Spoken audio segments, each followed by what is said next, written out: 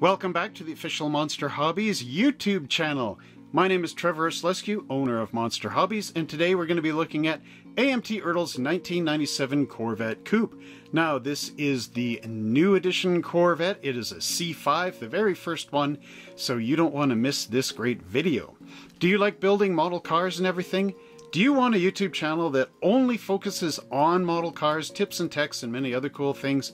If so, I want to tell you all about the Monster Hobbies Model Car Garage YouTube channel at the end of this video. So stay tuned for that. And now without further ado, let's go down to the bench and take a look at our 97 Corvette. Now let's go all the way back to 1997 to our GM showroom as we take a look at the Corvette C5 1997 Corvette Coupe by AMT Ertl. On this side of the box, we get to see these wonderful photographs of the 50 years of Corvette, starting with the 53 Corvette and ending with the 2003 version. And here we have our 97 Corvette Coupe, the first of the C5s, again looking nice in this three-quarter shot off the side here. And on this side of the box, we get a photograph of the interior of the car, as well as the engine bay and the side profile. Now this model kit is a skill level 2 for the moderate builder, ages 10 and up, requires glue and paint to get the job done. And now we'll open up the box lid and take a look on the inside, get on the inside track. So here we go, I bought this at Walmart June 7th, 2003 for $4.95. I think it was in a three pack maybe, I don't know. There's the uh, Corvette 50th anniversary little brochure that we got. Now here we've got a glass in the bag, body in the bag, body bag, perfect for Halloween. There's our chrome wheels and accessories. And then here we've got all our parts. And then in this corner, in this corner here, weighing at 97 pounds, we've got our tires. So what I'll do is I'll clear all this out of the way. And oh, there's decals down there. Danny the dog can take a look at those. We'll clear this out of the way and then we'll get to our dog on the street. Hey everybody, this is Danny the dog, your divine canine, saying how's it going today? I hope you're doing well. So here we are back on the bench and we're going to be taking a look at the 1997 Corvette instruction sheets from AMT Ertl. So as Trevor was saying, 1997 marked the beginning of the C5 Corvette and as you can see here it's a total redesign from the C4s that we were doing earlier. Now right in here is a big write-up on this car. You know they use balsa wood in the body panels? That's pretty cool. You have to read this. Uh, I think Trevor will put it in the description below. So step one, we've got all this before you begin. And it's saying, you know, to test fit and carefully study and understand the instruction sheet.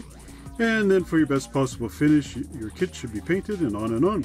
And then we also have the Racing Champs logo down here. And uh, this came out in 2002. So AMT has decided to use a lot of photographs in this instruction sheet, but overall it's not too bad. You've got your right and left hand side engine block and then the oil pan which glues up from underneath. Once you get that assembly done, you can then add on your intake plenum, your right and left hand side cylinder heads, and the front cover throttle body. And that glues there, these glue here, and that glues down there. Panel C shows the ignition covers being glued on top of the cylinder heads, and then you get your exhaust manifolds left and right, a little power steering reservoir cap which glues up on here, and then your pulley and belt assembly glues onto the front. Step D shows our oil filler cap being glued on top of those ignition covers, as well as the alternator bracket and the alternator getting glued on here. I do believe the bracket would fit into the front of the engine. And down below we have our AC compressor which will glue onto this pulley right here. Now here we have our chassis assembly and again there are four steps to this. So here we have our exhaust system which will be cleaned up and then glued down onto the chassis. Part B uses the rear axle assembly. Now this is the spring back here. And then we've got a left and right hand for our torque tube and transmission. And that will all glue down onto the chassis. Step C shows the lower rear assembly suspension package going on. There you've got your left rear spindle and right rear spindle, as well as your shock absorbers. So all this glues over top of that rear axle there. And then in the front, you've got your entire front end clip, and then again your shock absorbers, And here you've got your right and left hand side front spindles, and all those will glue into that chassis. And step D shows our engine from the previous assembly being glued up in here. So of course the transmission is going to go onto the drive shaft pin, and then I do believe there's a little hole here which will glue onto a cross member, but we'll take a look at that when Trevor looks at the plastic parts. Now the fourth step is our 1997 color availability chart, and this is always a great help. So you have Arctic white, black, fairway green metallic, light carmine red metallic, Nassau blue metallic, Sebring silver metallic, and torch red. And for the interior there is graphite leather, Toredo red leather, and pewter leather. leather. So what you could actually do here is make the original 1953 type car which came out in Arctic white, and inside you would use your Torrio red leather. Is to duplicate colors using stock aerosol automotive touch-up finish colors. Use this procedure. It should be noted that these directions must be carefully followed to prevent the usual crazing of the styrene, which occurs when automotive lacquers are applied directly. First, mist on two coats of lacquer primer, when completely dry, follow with a very light coat of touch-up, then apply successfully heavier coats until the desired finish is achieved. Panel 5 shows our interior assembly, and here we've got our dashboard. And Corvette in this year went back to the circular gauges, which is really cool. And uh, we've got our pedals down here. So this looks to be an automatic this time around, because there's our gas and there's our brake. And there's our radio. And uh, yeah, so that's our dashboard. And again, it's really nice that they uh, do a zoom in on this so you know just how to paint it all. Now panel B shows our interior starting to go together. So here we've got our bucket seats front and back being glued together and drop down into our interior. This is almost a bucket, but not quite because it's got the open doors on there. So then here we have our center console being glued in place with the emergency brake and our gear shift lever. And panel C shows our dashboard being glued in place. First you put on your left and right hand side door panels, then you put in your dashboard because they actually click into little slots and they've got pegs up here. And then you've got your steering column and your steering wheel which glues right through the column into the hole in the dashboard. Panel 6 shows our tire wheel assembly and the Corvette for this year also had those directional tires so make sure that you read the side where it says which way the tire is going and make sure you put your wheels into the right direction on each side of the car. Now this shows the front wheel, but basically the back wheels are the same as well. Actually exactly the same. So you've got your outer wheel, your tire, remember that rotation direction, and then a disc brake, which also acts as a wheel retainer clip, and that goes into the inner wheel. Now these spokes are open, so you'll be able to see those, and just to show you that the, uh, the rear wheels go together the same, here they are down here. Now I'm not too sure if the rear wheels are wider or if all tires were the same. We'll have to take a look at those when we look at the plastic parts. Now panel 7 has an A and a B, so for A we're going to put our mirrors onto the side of the car and this has the housings as well as the mirror which is chrome. And then up front we've got the driving fog lamps going into the front fascia and our license plate cover which glues into the little hole right there. And all this glues onto our body. Now step B shows the rear fascia being glued onto the back of the car. But before you do that, remember to put in your right and left hand side taillights, which will glue into the little holes back here. And now we get into the final assembly of the kit. So there's our body again, and now we add in our back glass, and we also add in the windshield. And now you'll notice that this is part of the roof up here. So you'll need to paint that a roofy color or a car body color. And the trim around the windshield is actually flat black. And then you glue in your mirror there and a master brake cylinder right into here. Panel B shows our body being dropped down onto our assembled chassis, engine, and interior, and then you get to glue your wheels on in all four corners. Panel C shows some of our decals being put in place, and here we also drop down our hood, and there's our complete radiator assembly, as well as the air intake. So you've got two fans, the radiator fan shroud, upper and lower radiator hoses, and that air intake. So once all this is complete, you'll have a really nice looking fifth generation Corvette. Well, thank you very much, Danny, for going over those instruction sheets, and as usual, you do a real bang-up job. So, in the old Corvette C4 videos that we did before, a lot of people were telling me that actually Monogram made a better model kit than AMT did on those C4s. So here we get to see how the C5 stacks up, and this is a completely new mold, so hopefully AMT has got it right. Now take a look at all this under the hood like windshield wiper bottles, overflow bottles for the radiator, and then battery cover boxes and everything. Again, looks really nice. You got the headlights, which are folded down up here.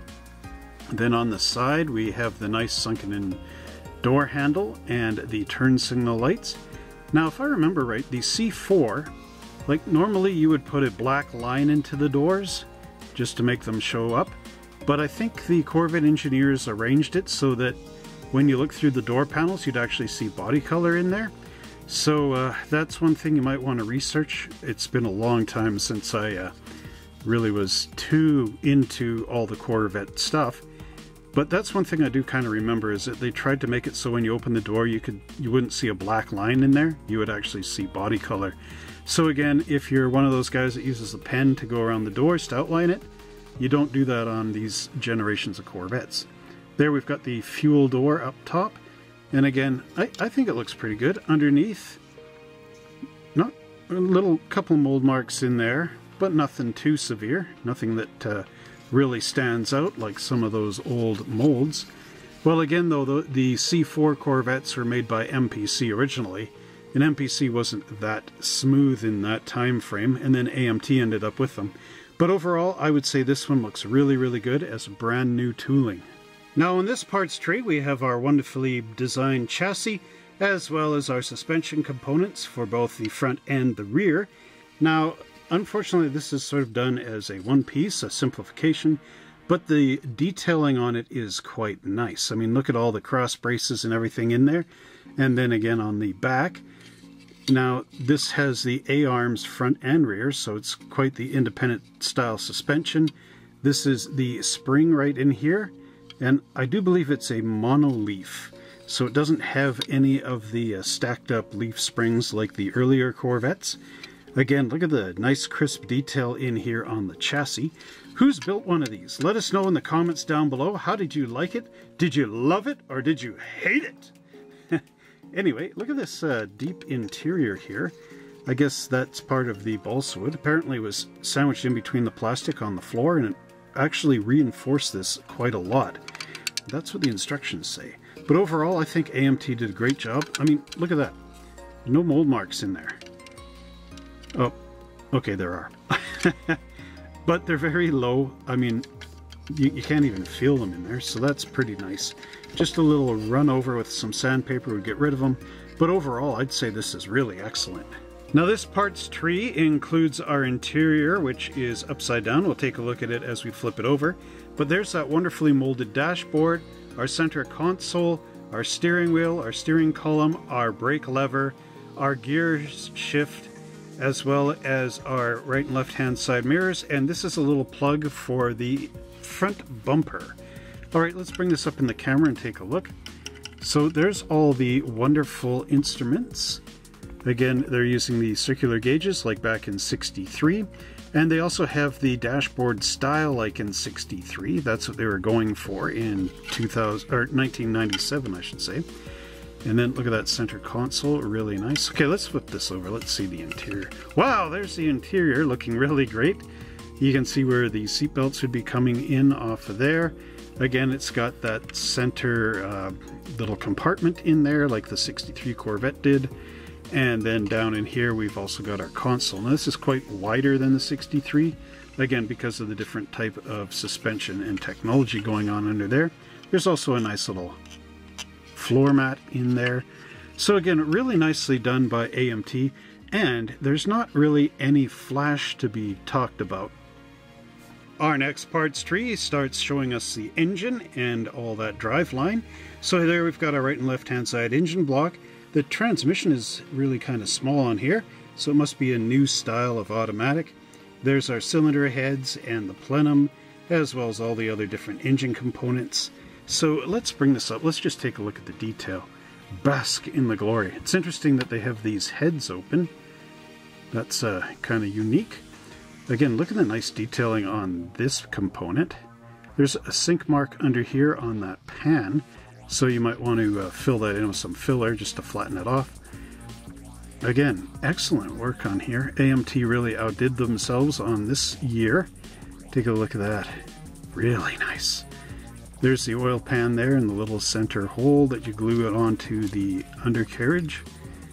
Again, not really any mold marks back here. Uh oh I got a part that broke loose.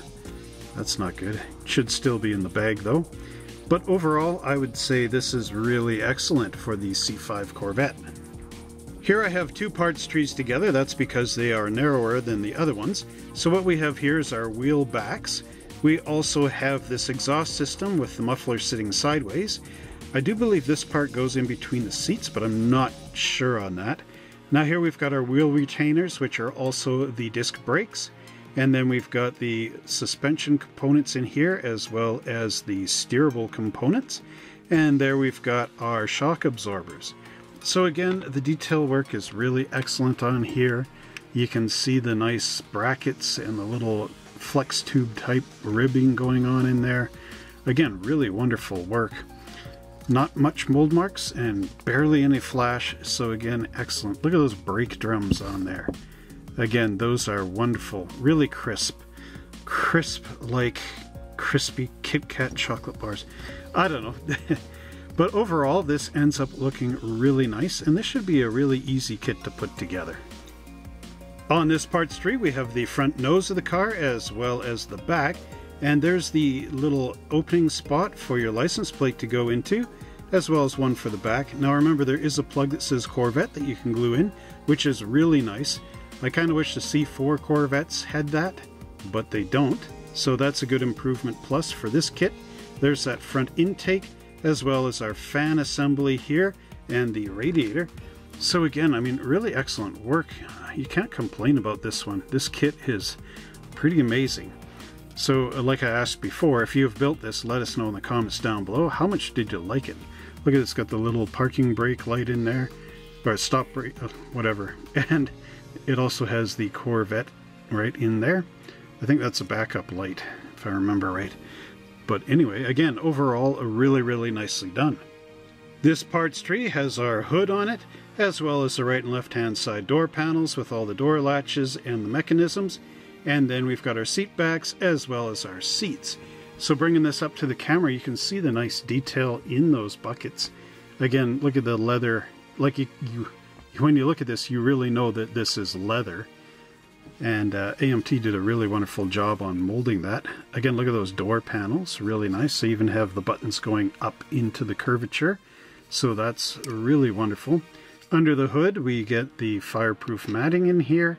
Again, really excellent work. And look at how the seats, they've got this uh, slot and hole kind of thing to line them up perfectly. So again, AMT did a really wonderful job on this. I wonder if that crew that made the uh, 62 Ford Thunderbird worked on this model because it really does look like their work. Now before we look at the chrome parts tree, I just want to ask one question. Maybe some of you older model builders would know this, but does Ozzy Osbourne's Crazy Train run on the Grand Funk Railroad? Let us know what you think in the comments below. Okay, so now we move on to the chrome, and there isn't really much. There's just those mirror inserts and the chrome rearview mirror for the center. And then here we've got our four wheels. So let's just take a look at those. Again, they do look really, really nice. Very clean, very crisp, and no flash, Ma. Overall, I'd say these are really excellent. So there you go. There's your chrome for the Corvette. And here's our clear components for the kit. So right here we've got our roof as well as our front windshield and actually it's kind of nice that AMT did it this way, even though it is a little more trickier to paint. That means that this all looks like one nice fresh piece instead of, you know, having a gap under the windshield or anything like that where the roof goes. Then here we've got our turn signal lights for the front. We also have our red plastic tail lamps and our rear window in the back here. Not starring Clark Gable though. anyway, um, yeah, so, or Jimmy Stewart, wasn't it? Rear, anyway. So uh, this has the line around it, so you can paint inside there all flat black and make this thing look right. I do believe you want to paint the top of this, so you could even mask the window here. I don't know how easy that would be, but overall I think this ends up looking really nice. See, they even have the windshield wipers molded in place as well as a bit of that vent down there. Again, really excellent work. This was double bagged in the model, so there'd be no scratches on it. And again, look at those nice tail lamps. If we turn them over, you can see a little bit of a pattern underneath. Oh, maybe not. There are some mold marks in the back, but nothing too, too concerning. Overall, though, I do think this glass is top notch. And here's the tires for the kit. Now, these are Goodyear F1 Eagles, so these are Formula One type racing tires, specially designed for this Corvette, I do believe. Now, one thing, remember I was saying they were directional. One thing that's nice about these is they have writing on one side of the tire, and then if you turn it over, it's blank. So that means that it's not that hard to uh, get them in the right direction. Just make sure you look for those little directional arrows, because again, you, I don't know, can you get this wrong? If these are on the inside, no, you wouldn't be able to get them wrong. Just make sure that your backs are the smooth side going in and the front have the raised letters sticking out on the side of the car. Now, the tires are just a bit slightly smaller, so the back ones are taller, but it is a little bit hard to see these, so make sure that you don't get them confused because we're only talking a little bit higher in the back.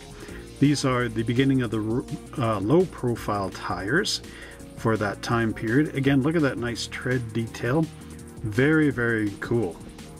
So again, I do believe these are very wonderful tires and they are easy to clean up and will look awesome on your model. So here we've got our decal sheet for this great model kit. And as you can see, there's really not much decals here. You got your front and back Corvette emblem, then a 50th anniversary license plate, and then a Georgia My Vet license plate. And that's it. Well, I really hope you enjoyed that look at our AMT Ertl 1997 Corvette Coupe. So, at the beginning of this video, I was talking all about the Monster Hobbies Model Car Garage YouTube channel. What is that? Well, if you want to know what it is, it's basically a channel that is exclusive to model cars. So you get to learn tips and tech. You also get to check out unboxing videos that are not on this channel, as well as show and shine videos of both my model cars and my dad's, and I even build models over there so you get to see how to put them together in order to get the steps correct and see my take on building these models. So if that sounds like a channel for you, check out this video right here, tells you more about it. And this video, or sorry, this little icon down here, if you click your mouse on that, it takes you directly to that YouTube channel. So until next time everybody, happy model building and we'll see you in the next video.